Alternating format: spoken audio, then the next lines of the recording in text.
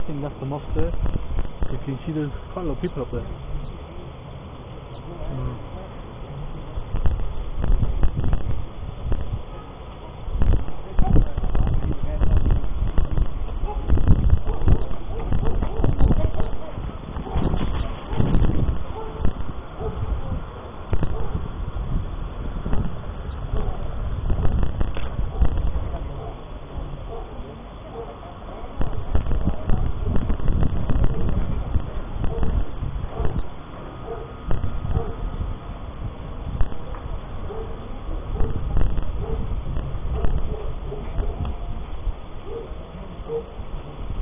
Thank you.